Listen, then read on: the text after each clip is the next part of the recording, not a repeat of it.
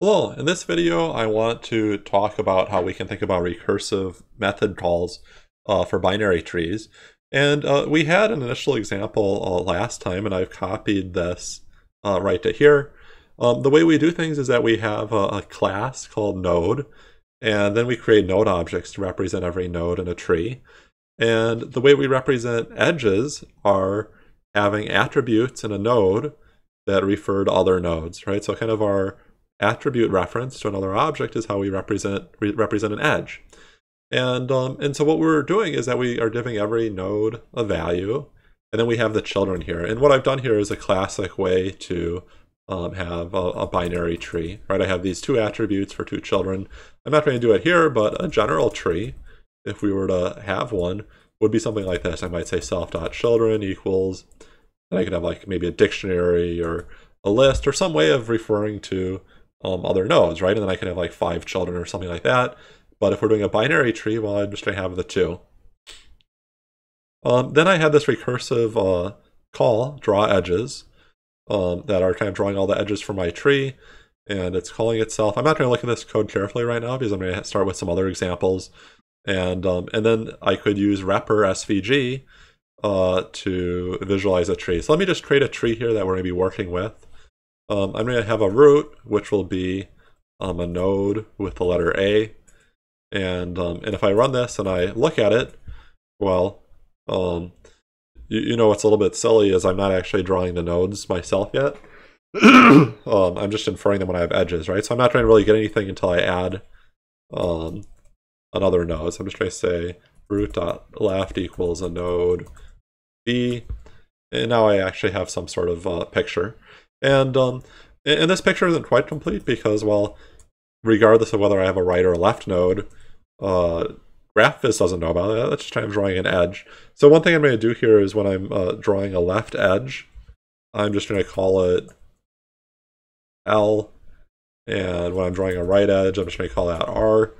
And that way we can actually tell um, for kind of these degenerate uh, binary trees. Okay, so I'm going to do that. I'm going to have a right child, so I'm going to say right equals another node, uh, C.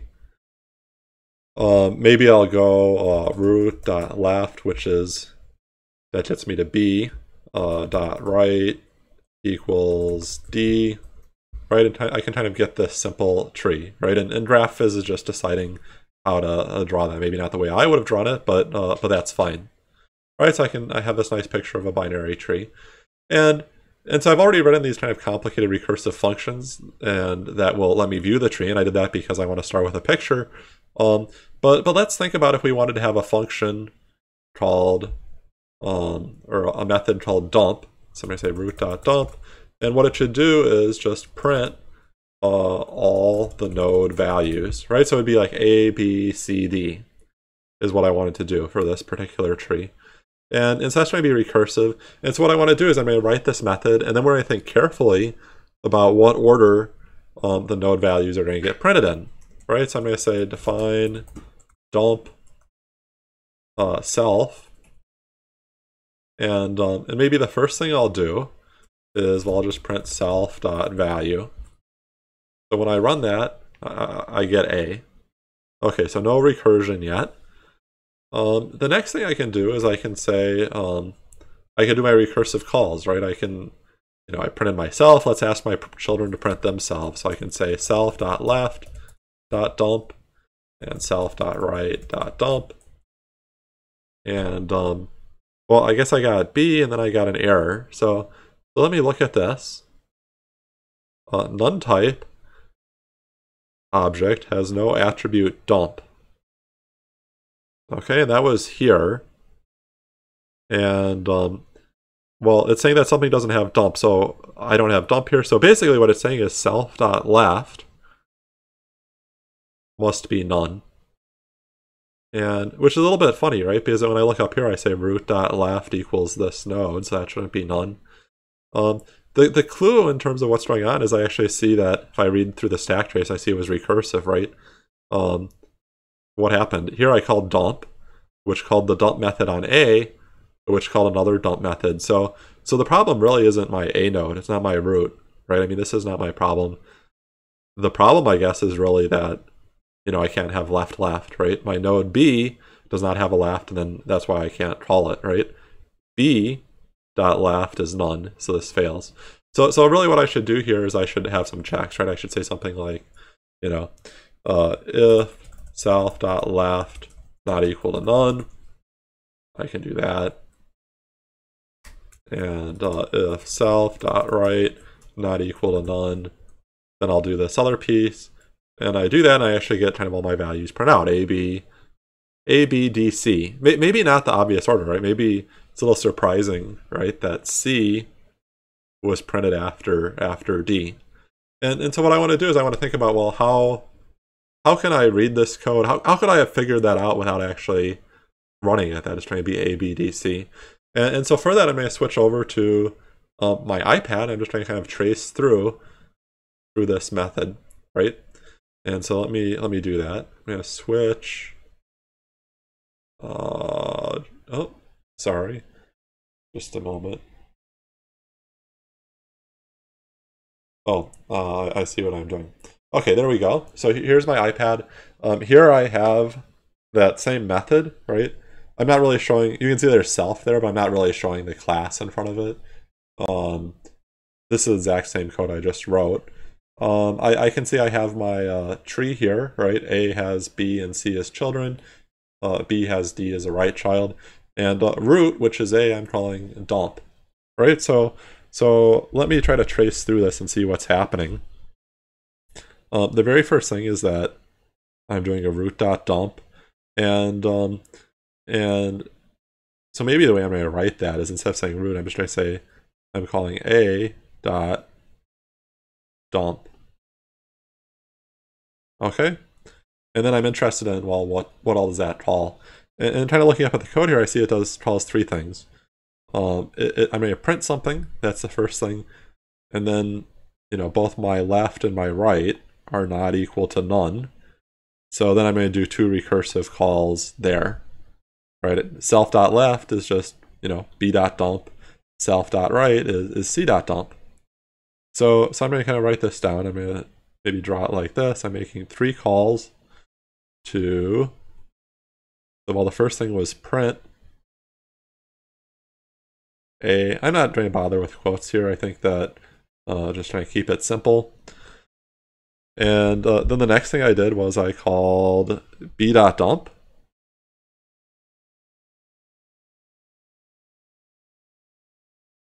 And then finally I called c.dump.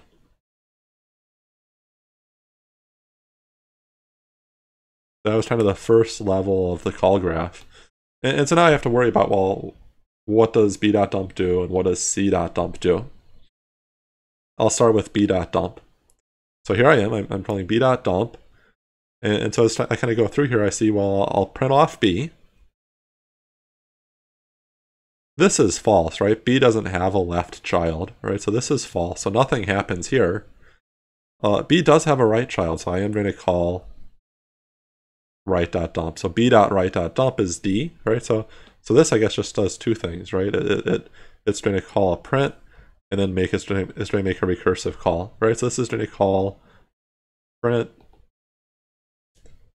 b, and then it's also going to call d dot dump, right?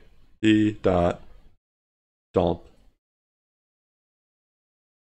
Okay, um, so, so at this point, right, I, I still have kind of two of these that I haven't evaluated. Right? I have d.dump and c.dump on the table. Let, let, let's look at c.dump first. Doesn't really matter the order I reason through these. When I call c.dump, c is a leaf, right? It doesn't have any children. So I'm going to print c, and then both of these things are false. So printing c, I guess, is the only thing I do, right? So this is just trying to do what? It's trying to print. It's trying to print C. Okay. Um, what about, that was this one. What about D dot dump, right? So I kind of come back here. D is kind of a similar situation, right? It's a leaf. It has no children. So I was trying to print itself, and then these things are going to be false, so it won't do anything. Right, so so really all this does is it, it prints D. So I'm going to say print, print D. Right, and, and so now right, after I've, I've kind of gone through all these things, I can think about the order in which my prints happen, right? What is my output? Right, and so, well, the first thing, right, I can try and draw these lines here. The first thing is that I print A, and, um, and then after that, I'm going to print B, and then after that, this was kind of the surprise, right? We print D before we print C, and, and hopefully you can you can kind of see why now, right? So so as I'm kind of doing these prints, right, it kind of goes down, well, you can see I go left before I go right. And so when I go left, I really go all the way left. And I'm kind of doing all of these things uh, before I come back and actually print off, print off C. Um, now, this code uh, would have a very different order. It would still print all the same things, but have a very different order if I moved that print down there to the bottom. So let me do that. Uh, just like that. Okay, so I'm going to move that to the bottom. And uh, let's think about what happens in this case. Um, in this case, well, I guess I'm still... Oh, excuse me. I'm still I'm still starting with root dot dump, and the root is a, right? So so I'm gonna write that down first. So the first thing I do is um, a dot dump,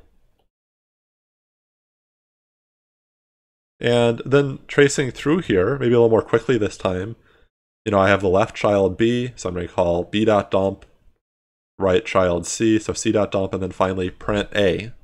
Right, so so I have my three things, uh, which are B dot dump,